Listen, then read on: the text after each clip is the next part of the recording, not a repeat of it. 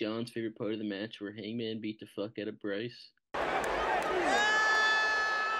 was waiting for you to bring it up, dude. Yeah, I was. That was mention it. literally one of the greatest moments of my life, and John that's was why. screaming. Dude, stop. And that Yeah, fuck you, Bryce!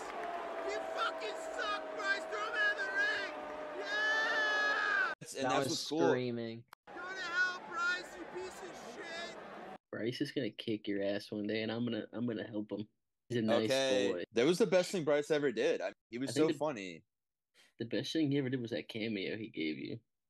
Hi, John. Uh, you have a great friend named Chris that got you a great cameo. Well, Where why do you was think I'm so fucking heated, dude? Yeah, he sent two. The first one backstage at a dynamite in between matches, cool as fuck. Oh, it's silent. Yeah, like he had no idea. It was Pulls that muted. shit to piss me the fuck off. Thanks for the cameo, Bryce! Bryce, Bryce, Bryce, Bryce, Bryce, Bryce.